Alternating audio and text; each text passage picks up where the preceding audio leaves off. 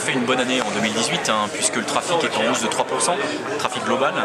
On a dépassé les 51 millions de tonnes, on est à 51,6, donc euh, l'année est globalement euh, satisfaisante pour le port. Euh, ça c'est le premier point.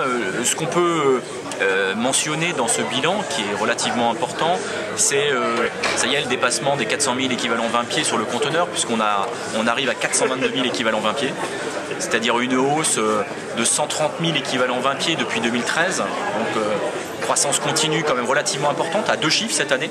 On est à, 13, entre 12 et 14 si, si, on prend le trafic global ou le, trafic euh, uniquement des, conteneurs pleins. et puis une activité sidérurgique qui a bien fonctionné, puisqu'on a dépassé les 15 millions de tonnes sur les minerais, plus de 6 millions de tonnes sur les charbons.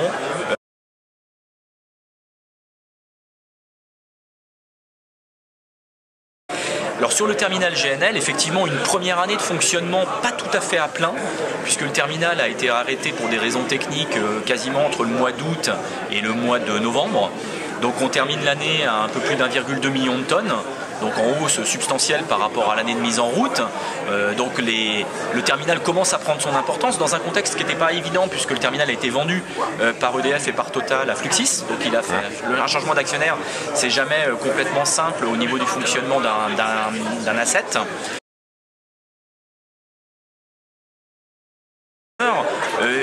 Un excellent partenariat avec CMA-CGM, ça c'est clair.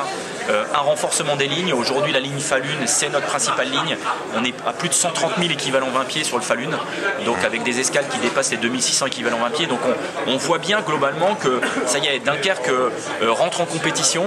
Euh, il faut se rappeler qu'en 2010, le trafic du terminal conteneur, c'était 200 000 équivalents 20 pieds. donc ça commence à, vraiment... On, on, commence à redevenir une référence, même si effectivement on a des très grands voisins qui sont très performants. Alors on, a toujours euh, deux dominantes hein, sur le terminal. On a d'abord une ligne antique qui continue à bien fonctionner, même si on a eu des périodes avec des cyclones qui étaient un peu impactants. Mais aujourd'hui, effectivement, la ligne mère, c'est la ligne Asie, hein, qui, représente euh, quasiment euh, un peu plus d'un quart de notre trafic global.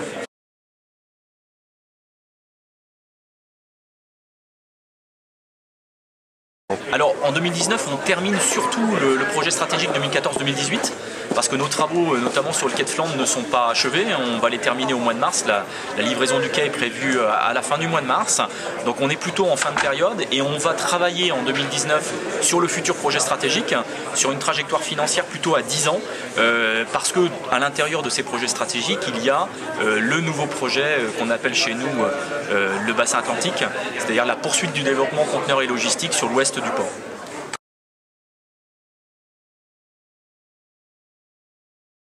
Alors ça c'est un des enjeux, effectivement vous avez vu euh, courant 2018 qu'on a implanté de nouveaux logisticiens, euh, logisticiens belges, on a quelques annonces à venir là en ce début d'année, vous les verrez euh, bientôt, c'est un peu de teasing, c'est normal, mais effectivement ce qui est très représentatif aujourd'hui c'est que le conteneur génère de la logistique, cette fois-ci sur le port, et il va en générer de plus en plus puisqu'on livre, on a livré en cette fin d'année la grande parcelle de la zone Dunkerque Logistique Internationale et on l'a livré 500 50 hectares de zone d'activité logistique.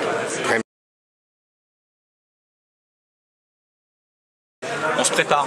Alors on se prépare euh, dans un contexte où on ne sait pas tout, hein, puisque côté anglais, euh, les, accords euh, ne, sont toujours pas signés, il n'y a toujours pas de validation, mais en tout cas avec les services de l'État, le préfet, la direction régionale des douanes, les services de l'agriculture, on se prépare pour être prêt le 30 mars.